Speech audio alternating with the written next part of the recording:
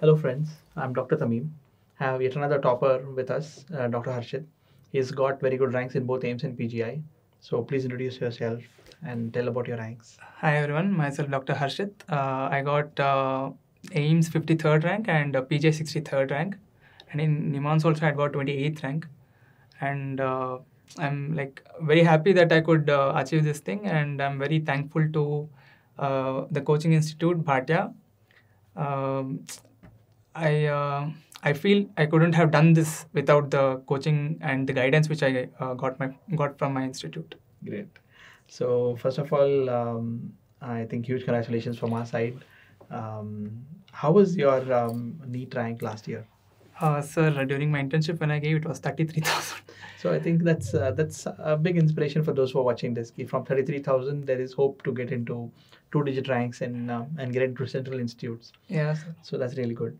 So I think uh, your ranks are really good. AIIMS, you've got a good rank. PGI, you've got a good rank. Um, so, at, uh, having given all these exams, uh, how was your experience and what advice you'd like to give to your juniors? Uh, thing is, sir, we uh, usually while uh, we start our preparation, we go behind tough things or rarely asked things. But in exams, in those little time, all we need to do is get those easy ones correct. So there will be only minor proportion of hard ones, and that will be hard to everyone. Hmm. But in that limited time, when we are going fastly skimming through the questions, we tend to do the easy ones wrong because that's what I realized after writing AIIMS and PGI. When I go back and uh, uh, no was seeing what were the answers for that, I realized that many simple things also I had committed errors. So if I had even better those easy ones, I would have got even a better rank. Yeah, okay. Um, so, um, what would you say is the backbone of your entire preparation?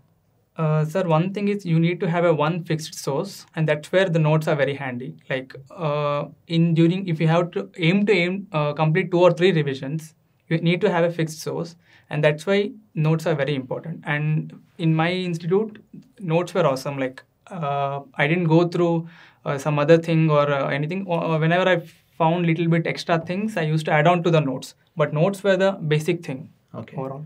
So I think this is another thing. Now the um, uh, number of resources are plenty. There are so many apps and so many lectures and so many uh, you know things that you can get online as well. Yes, sir. So I think um, sticking to one resource and be able to focus on that and revise is the sensible thing to do. Yes, sir. Great. So um, how was your typical week? And uh, after the class, wha- what was your method of preparation? Uh, sir, uh, we used to get around four five days in average after a subject. So two days at a stretch, I would uh, finish my notes first. Then I'll go through the questions whichever possible, and if there if I find anything new, I would add on to the notes. That's all. In doing this, only four five days was like going up. Okay. So basically, six months will just go through just doing this Yes, sir. subject by subject. Same routine for every subject. Okay. So when did you start your revision? Sir, it was. Uh, I had uh, two three subjects pending uh, after coaching this thing. So those two three subjects I finished in 10 15 days, and uh, right after the classes were ended, within 10 15 days I started my revision. Okay. And first revision took around like 40 days Okay. for the first revision. Okay. And yeah, that's what exactly when AIIMS uh, I had given. Great. Just after one revision, I could Okay. give exam. How relevant was uh, vibe session? So uh, one thing good about Vibe is uh, like you have been through this st- uh, stuff for six months for whole uh, syllabus. When you go through Vibe in those short period of time, you will get, be able to skim through all the subjects. It will be a good recall, and you will have a one source which you could rely on at the end. Mhm. Like be- right two three days before exam or one week before exam, there will be so many things going uh, in our head. We don't know what to choose and all. So in that kind of time, uh, Vibe will be very handy because when I just go through the pages in five ten minutes, I could finish a subject, and images will be like they will be uh, help in recalling the concepts also very fast. Good.